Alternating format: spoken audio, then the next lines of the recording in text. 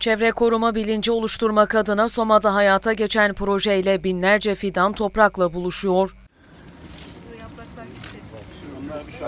Bu kapsamda Soma Devlet Hastanesi bahçesine uygulanan projeye Soma Belediyesi de destek verdi. Binlerce fidan 13 bin metrekare alanda toprakla buluşturuldu. Etkinliğe Soma Belediye Başkanı Ali Tulup, AK Parti Manisa Milletvekili Mehmet Ali Özkan, Soma AK Parti İlçe Başkanı Mehmet Ali Aksoy, Soma Milliyetçi Hareket Partisi İlçe Başkanı Adem Yıldırım, hastane personeli ve Orman Bölge Müdürlüğü ekipleri katıldı.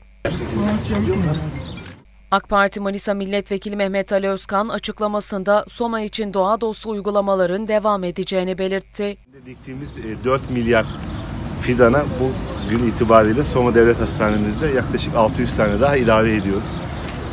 Devlet Hastanemizin arkasında biliyorsunuz geniş bir bahçemiz var. Buraya başhekimimiz ve arkadaşları bir çalışma yapmışlar.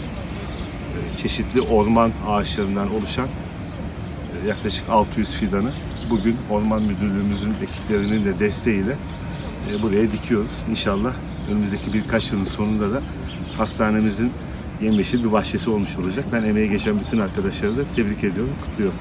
4 milyar fidan dikme hedefiyle beraber hastane bahçesine protokol üyeleri tarafından 600 adet fidan dikildi. Tamam çekiveririz onları. Tamam.